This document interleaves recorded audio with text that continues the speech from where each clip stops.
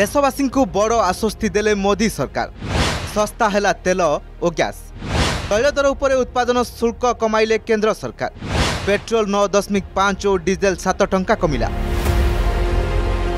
ଦେଶବାସୀଙ୍କୁ ବଡ଼ ଆଶ୍ୱସ୍ତି ପେଟ୍ରୋଲ ଓ ଡିଜେଲ ଉପରେ ଉତ୍ପାଦନ ଶୁଳ୍କ କମାଇଲେ କେନ୍ଦ୍ର ସରକାର ଟଙ୍କା ଟେକି ଦୁଇ ଟଙ୍କା ନୁହେଁ ପେଟ୍ରୋଲ ଉପରେ ଆଠ ଟଙ୍କା ଏକ୍ସାଇଜ୍ ଡ୍ୟୁଟି କମିଥିବା ବେଳେ ଡିଜେଲ ଉପରେ ଛଅ ଟଙ୍କା ଶୁଳ୍କ ହ୍ରାସ କରିଛନ୍ତି କେନ୍ଦ୍ର ସରକାର ଉତ୍ପାଦନ ଶୁଳ୍କ ହ୍ରାସ ହେବା ପରେ ପେଟ୍ରୋଲ ମୂଲ୍ୟରେ ନଅ ଦଶମିକ ପାଞ୍ଚ ଟଙ୍କା ହ୍ରାସ ପାଇଥିବା ବେଳେ ଡିଜେଲ ମୂଲ୍ୟରେ ସାତ ଟଙ୍କା ହ୍ରାସ ପାଇଛି मैं आपको यही बोलूंगा कि अगर सरकार ने ये काम किया है तो काफ़ी अच्छा काम किया है क्योंकि लोगों को राहत होनी बहुत ज़रूरी है इस टाइम तो 105 105 रुपए है इस टाइम और अगर नौ रुपये होगा तो लोग और भी ज़्यादा खुश होंगे इस चीज़ के लिए अगर सरकार ये काम कर रही है तो मैं बोलूँगा कि बहुत अच्छा काम कर रही है अच्छी अच्छी बात है सर इसके लिए और कम होना चाहिए पेट्रोल, सर।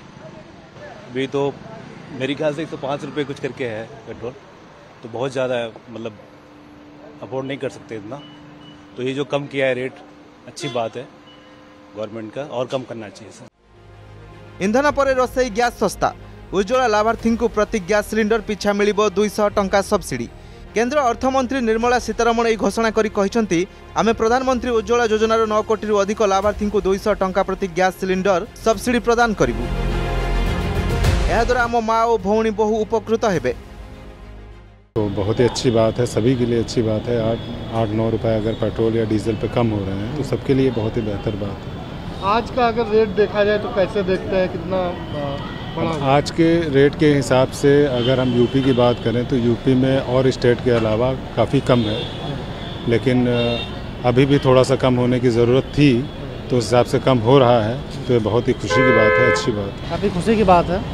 भाई बहुत पेट्रोल के दाम तो बहुत बढ़ गए थे उससे महँगाई बहुत बढ़ रही थी। अब काफ़ी राहत मिलनी चाहिए मेरे ख्याल से मैम उस पर महँगाई पे भी।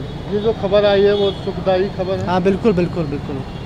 बिल्कुल अच्छी खबर आई है। पेट्रोल डीजल के जब रेट बढ़ते हैं तो और किन चीज़ों पे इसका असर सब चीज़ों पे सब चीज़ों पे टोटल सब चीज़ों जैसे में कि- महंगाई पे କେନ୍ଦ୍ରମନ୍ତ୍ରୀ ନିର୍ମଳା ସୀତାରମଣ ଟ୍ୱିଟ୍ କରି କହିଛନ୍ତି ଯେବେଠାରୁ କେନ୍ଦ୍ରରେ ପିଏମ୍ ମୋଦିଙ୍କ ସରକାର ଆସିଛି ସେବେଠୁ ଗରିବଙ୍କ କଲ୍ୟାଣ ପାଇଁ କାମ କରୁଛନ୍ତି ଆମେ ଗରିବ ଏବଂ ମଧ୍ୟମ ବର୍ଗକୁ ସାହାଯ୍ୟ କରିବା ପାଇଁ ବହୁ ପଦକ୍ଷେପ ଗ୍ରହଣ କରିଛୁ ଏହାର ପରିମାଣ ହେଉଛି ଆମ କାର୍ଯ୍ୟକାଳ ସମୟରେ ହାରାହାରି ଦର ବୃଦ୍ଧି ପୂର୍ବ ସରକାରଠାରୁ କମ୍ ହିଁ ରହିଛି